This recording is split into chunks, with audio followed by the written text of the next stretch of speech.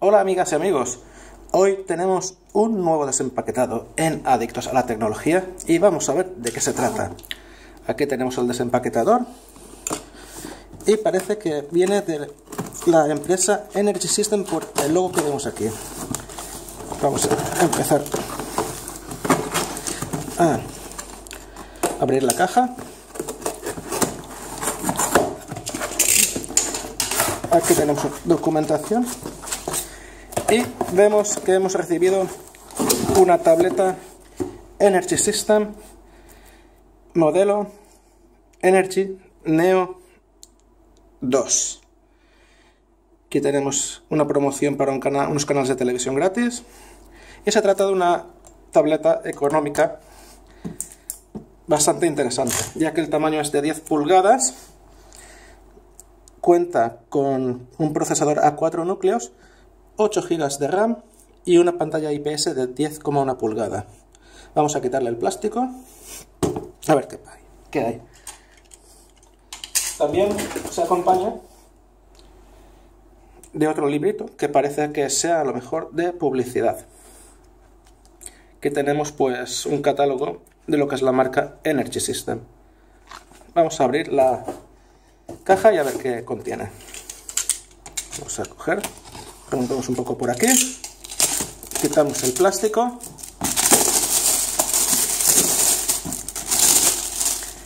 Y abrimos. Como podéis ver, Energy System presenta muy muy bien las cosas. Hace unas presentaciones muy curiosas que la verdad dan un toque de distinción muy interesante. Vamos a abrir esto. Y aquí tenemos lo que es la tableta en sí. Vamos a ver. Está muy bien, muy interesante. Y la apartamos un momento y vamos a ver qué contiene aquí dentro. Este modelo es un poco ya antiguo y la he conseguido a través de un programa de Outlet. Aquí tenemos lo que sería la documentación, etcétera. Aquí tendríamos como pone el cargador el cargador y aquí tendríamos pues sería me imagino que el cable USB vamos a ver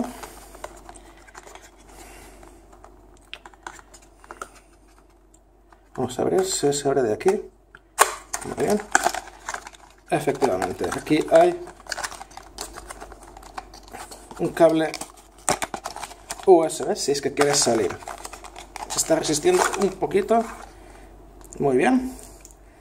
Aquí viene con dos velcros. Esto es un on the go.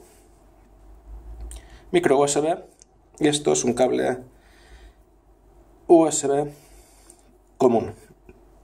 Como se ve aquí parece que es un poco en dorado. Muy bien. Como vamos a ver, vamos a ver aquí. Aquí en esta parte tiene una tapita. Este modelo creo que no es la, la 3G. Un momento, que se ha desenfocado. Y aquí podemos ver la ranura para conectar una micro SD. Aquí tenemos el puerto micro USB Bajo no contiene nada. Aquí tenemos la conexión de auriculares. Un momento que enfoquemos mejor. Aquí tenemos la conexión de auriculares, el botón de encendido y el botón de bajada y subida de volumen. Aquí arriba tenemos dos altavoces que supongo que serán estéreo. Aquí tenemos una cámara que según dicen las indicaciones son, es de 5 megapíxeles. Aquí tiene la cámara con 5 megapíxeles según las, lo que es las características y un flash LED. Tenemos aquí el logo, el corazón de Energy System y la superficie es un plástico pero se ve bastante premium y bastante resistente. Esta parte de arriba, aquí, es un poco más gomosa. Y tiene bastante buen tacto a la mano. Aquí tenemos, pues, lo que es el interruptor, el jack de 3,5 para los auriculares y el, el, volumen. Y aquí nos muestra también pues la toma para la micro SD y la conexión USB. Aquí abajo vemos que nos indica que lleva Android 4.4. Tiene una doble cámara, la frontal es VGA, según he visto, un procesador de 4 núcleos y 8 GB de almacenamiento interno. Vamos a quitarle la lámina. Y aquí podemos ver la pantalla. Vamos a ponerla en marcha a ver qué sucede. Parece que no tiene, carga, así que vamos a probar a cargarla antes de nada. Mientras va cargando, vemos que aquí tenemos una tarjeta porque todos los aparatos que vende Energy System tiene 36 meses de garantía, cosa que está muy interesante.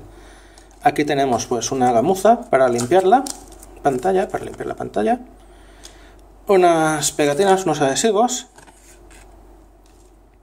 Aquí pues esto será...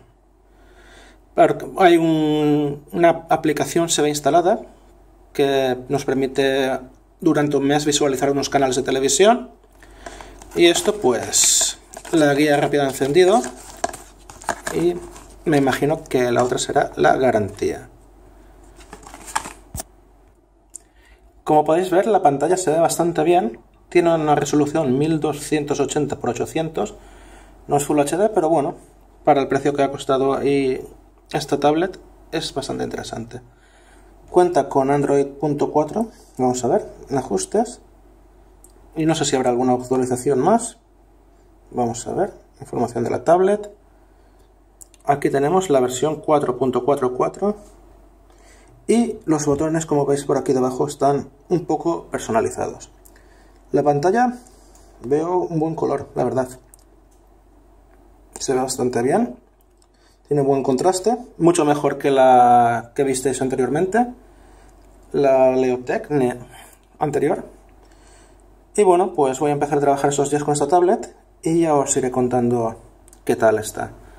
Bueno, espero que os haya gustado el vídeo. Si es así, no olvidéis darle un me gusta, suscribiros a mi canal y compartir el vídeo con otras personas.